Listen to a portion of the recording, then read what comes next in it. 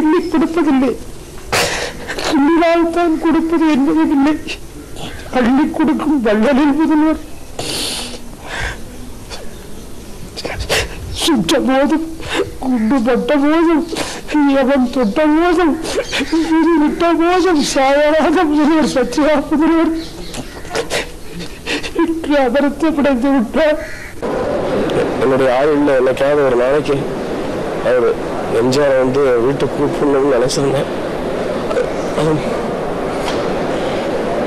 அவங்க அதை நான் போய் கூப்பிட்டப்ப வீட்டுக்கு வந்து ஜனவரி மாதம் கிரக பிரவேசத்தில் கலந்துக்கிட்டாரு. எல்லா மனிதர்கள்ட்ட இருக்கிற நல்ல குணங்களெல்லாம் தனக்குள் சுவீகரித்து கொண்டு தனித்து விளங்குகிற ஒரு விளங்குகின்ற ஒரு ஒப்பற்ற மனிதர். என்ன போல கலைஞர்களுக்கும் நிச்சயமாக ஒரு பெரிய இழப்பு.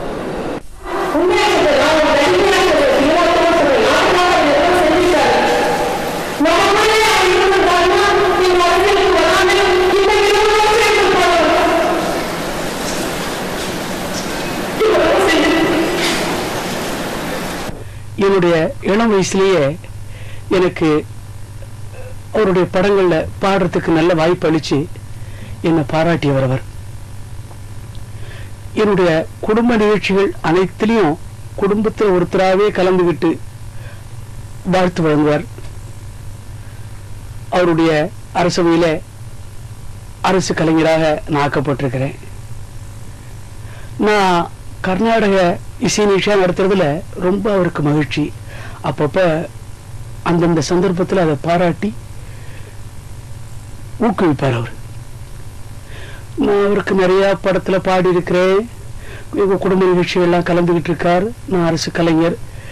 இவ்வளையும் பெரிய பாக்கியமாக கருதினாலும் அதை விட பெரிய பாக்கியமாக நான் கருதுறது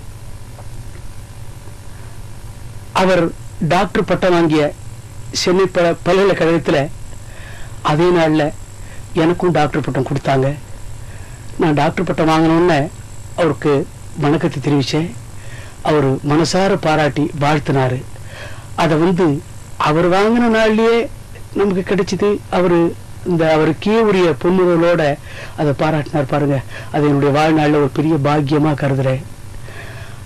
அவர் வந்து மறையில மறைஞ்சு போகல. மக்களுடைய உள்ளத்தில் நிறைஞ்சு போனவர் அவர். கலை உலகத்தில் இருக்கக்கூடிய கலைஞர்கள் எல்லாம் ரொம்ப ரொம்ப பேர் தர்மம் செய்கிறாங்க எண்ணி சில பேர் செய்கிறாங்க அதை அள்ளி செய்கிறது தலைவான ஆனால் எம்ஜிஆர் உணவையும் மிஞ்சி கொட்டி தர்மம் செய்யக்கூடியவர். அந்த கொட்டும் கையை கொட்டி அடக்கம் குட்டி அடக்கக்கூடிய கை எப்படி கெட்டியா கட்டி போட்டப்பட்டதோ எதுமோ அது ஆண்டவருடைய செயல்தான். ஒரு இருபத்தி மூணாம் தேதி அன்னைக்கு இவர் இறந்துதான் கேள்விப்படும் போது நான் வாய்க்கு வந்தபடி அசிங்கமாரெல்லாம் பேசி இருபத்தஞ்சு வருஷத்துக்கு எம்ஜிஆருக்கு ஒரு நோய் நொடி கூட வராது. எல்லாத்தையும் சமாளிக்கக்கூடிய சக்தி ஆண்டவன் தனியா பெற்றதாக அவர் கொடுத்துருக்காங்க சொன்னவர் ஆனா கடைசி வரையிலும் நம்பல. சாயந்தரம் ஆறு மணிக்கு மேல வேண்டிய நம்பரா நம்ப இதாக போச்சு. அவர் வாழ்ந்த காலத்துல நாங்களாம் வாழ்ந்து கொண்டோம் அந்த பெருமை எங்களுக்கு இருக்கு. இந்த மாதிரி கலைஞர்கள்லாம் அன்பு ஆரம்பிச்சு எங்களை கொண்டு வந்தாரு இனிமே யார் அப்படி எங்களுக்கு இது பண்ண போறோம்னு தெரியல. அவர் ஆத்ம சாந்தர் என்ன இறைவனை வேண்டிக் கொள்கிறேன் அமரரானாலும் அவர் நடித்த திரைப்படங்கள் மூலமாகவும் அவர் தமிழகத்திற்கு எழுப்பிய கொள்கையின் மூலமாகவும் தமிழகத்து மக்களின் நெஞ்சத்தில் நிலைத்து நிற்கிறார் தர்மம் தலைக்காக்கும் என்று படத்தில் நடித்தார். நிஜ வாழ்க்கையிலே நடைமுறையிலே அதை கடைபிடித்தார் அதனால் தமிழக மக்களின் இதயத்தில் இடம் பிடித்தார் அதனால் தான் இன்று அவருக்காக கோடான கோடி மக்கள் கண்ணீர் வடித்தார்கள் என்று சொல்லக்கூடிய அளவுக்கு அமர்வாகிவிட்ட அவருடைய ஆத்மா சாந்தி அடைய வேண்டும் என்று திரைப்படத் துறையில் இயக்குநராக இருந்தார் நடிகராக இருந்தார் என்ற முறையில் தென்னிந்திய திரைப்பட இயக்குநர்கள் சங்க தலைவர் என்ற முறையில் என்னுடைய அஞ்சலியை தெரிவித்துக் கொண்டு அவருடைய ஆத்மா சாந்தி அடைய வேண்டும் என்று எல்லாம் வல்ல ஆண்டவனை பிரார்த்தித்து விடைபெறுகிறேன். போன மாதம் இதே நாளிலே எனது புதல்வன் மிருதங்க அரங்கேற்றத்திற்கு வந்து ரெண்டரை மணி நேரம் உட்கார்ந்து அவர் வந்ததே பெருசுன்னு நினைச்சிட்டு இருக்கும்போது விலை மதிக்க முடியாத பரிசையும் அளித்து எங்கள் குடும்பத்திற்கு உற்சாகம் ஊட்டினார். இது போல எங்களது குடும்பத்தில் மட்டுமல்ல அனைத்து குடும்பங்களிலும் அவர் செய்த சேவைகள் ஏராளம். அவர் மறைந்தார் என்பது இல்லை நம்முடன் தான் இருக்கிறார் நம்மை கவனித்துக் கொண்டிருக்கிறார். அவர் காட்டிய வழியிலே நடப்பதுதான் அவருக்கு செய்யும் தொண்டு என்று நான் மனமாற பிரார்த்திக்கிறேன். ஆலம்பூக்கம் மாவட்டம் டைமில் ஷூட்டிங்கில் ஆக்சிடென்ட் மீட் பண்ணி நான் ஹாஸ்பிட்டலில் மீட் பண்ணேன் அங்கே அவர் உடனே டெலிகிராம் கொடுத்து ஃபஸ்ட் கிளாஸ் மெடிக்கல் ட்ரீட்மெண்ட்டுக்கு எல்லாம் அரேஞ்ச்மெண்ட் பண்ணி அப்புறமா கூப்பிட்டு என்னோட பேசினார். அவர்கிட்ட எனக்கு என்ன சொல்கிறதுன்னு தெரியல. ஏன்னா என்கிட்டேருந்து அவருக்கு வந்து பிடிச்ச ஐட்டம் என்னென்னா நோ ஸ்மோக்கிங் நோ ட்ரிங்கிங்கிற ஐட்டம் அவர் எப்பவுமே அது பண்ணதில்லை. அந்த மாதிரி சில நடிகர்களை நான் ஒருத்தன்றதுல அவருக்கு ரொம்ப ரொம்ப மகிழ்ச்சியாக இருந்தார்.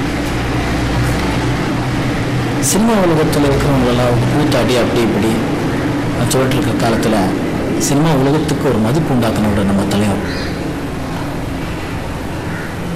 இப்போ இப்போ இந்த நம்ம துக்கத்தையும் சந்தோஷத்தையும் யார்கிட்ட போய் சொல்கிறது யார்கிட்ட பங்கு போட்டுக்கிறதுங்கிறது நமக்கு தெரிய மாட்டேங்கிறது. ஒன்று மட்டும் சத்தியம். எம்ஜிஆர் இல்லாத ஒரு சினிமாவா? எம்ஜிஆர் இல்லாத ஒரு தமிழ்நாடாங்கிறது எனக்கு தெரியல. அவரோட ஆத்மா சாந்தடிய கடவுள்கிட்ட உங்களோட சேர்ந்து நானும் வேண்டிக்கிறேன். நம்ம விட்டு அவர் இன்னும் போகல எங்கேயும். நம்மளோட தான் இருக்கார் அவர். அவர் சொல்கிற கொள்கை எல்லாம் நம்ம ஃபாலோ பண்ணால் கண்டிப்பாக அவரோட ஆத்ம சாந்தி அடையும் நான் நம்புறேன். பல அற்புதங்களை செஞ்சு சென்று விட்டார் ஒரு மாமனிதர். அவர் இருந்த பிறகு அவர் தோட்டத்தை பார்க்க நான் போயிருந்தேன். நான் போனப்போ அவருடைய உடல் வெளியே வேலை வந்தது. அப்போ நாற்பத்தி நாற்பத்தஞ்சு வருஷமா அவர் கூடவே வேலை செஞ்ச ரெண்டு தொழிலாளர்கள் பேசிட்டு இருந்தாங்க. ஒருத்தர் சொல்றாங்க என்னைய வந்து நீங்க யாருன்னு கேட்டாங்கன்னு என்னை தள்ளிட்டாங்க என்னை அடிச்சுட்டாங்க. இன்னொருத்தர் சொன்னாரு அதை ஒருத்தா தப்பமா முடிஞ்சு போச்சு. யார் அடிச்சாங்கன்னா யார் தோக்குனாங்கன்னா யார் பேசுனாங்கன்னு சொன்னாங்க. அதுவரைக்கும் கலங்காதன்னா அப்போ கலங்கிட்டேன் இந்த உலகத்துல வருத்தக்கூடிய துன்பத்தையும் தூரத்தையும் நம்ம உணர ஆரம்பிச்சா இந்த உலகமே கோயிலாடும் சொன்னாங்க தெரியல. ஒருத்தர். மக்களுடைய துன்பத்தையும் தூரத்தையும் மட்டும் உணராம அதை போக்குறதுக்கு பாடுபட்டவர் எம்ஜிஆர்.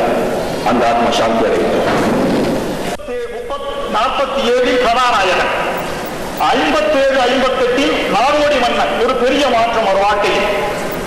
அறுபத்தேழில் அவர் சார்ந்திருந்த இயக்கம் ஆட்சிக்கு வருகிறது.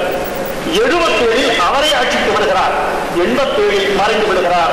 ஒரு மனிதனுடைய வாழ்க்கையினுடைய கிராஃப் எடுத்து பார்த்தீங்கன்னா இங்கே இருந்து அவர் உதிர்ந்து விழுகிற வரைக்கும் ஏறுமுகமாகத்தான் அவர் வாழ்க்கை இருந்திருக்கிறதே தவிர எங்கும் இறங்கு முகமாக இல்லை. தன் வாழ்க்கையில் இருந்த அவலங்களை எல்லாம் தனக்கு சாதகமாக மாற்றிக் கொண்ட ஒரு மாமனிதன். ரோட்டில் இருக்கும்போது நானும் பக்கத்தில் தான் இருந்தேன். அந்த வீட்டில் நான் ஒருவனாக தான் இருந்தேன். அவர் வீட்டில் அம்மா அவங்க அம்மாவுக்கு யாராவது வந்து நீ இந்த பையன் யாருன்னு கேட்டால் அவங்க என் மூணாவது பிள்ளைன்னு சொல்லுவாங்க. அப்படி நானும் அவரும் சக்கரபாணியனும் எல்லாம் ஒன்றாவே இருந்து வாழ்ந்துக்கிட்டு வந்தோம். அவரை பிரிஞ்சு இப்போ இருக்கிறது எங்களால் தாங்க முடியாத ஒரு கஷ்டம். குண்டடிப்பட்டு நானும் என் மனைவியும் அப்போலோ மருத்துவமனையில் சிகிச்சைக்காக சேர்க்கப்பட்டோம். அந்த செய்தி கேட்டு நம்ம தமிழக முதல்வர் ஓடோடி வந்து அவரும் அவர் துணைவியார் ஜானகியம்மாவும் ரத்த வெள்ளத்தில் இருந்த எங்களை கட்டி பிடிச்சு கவலைப்படாதீங்க சஞ்சலப்படாதீங்க.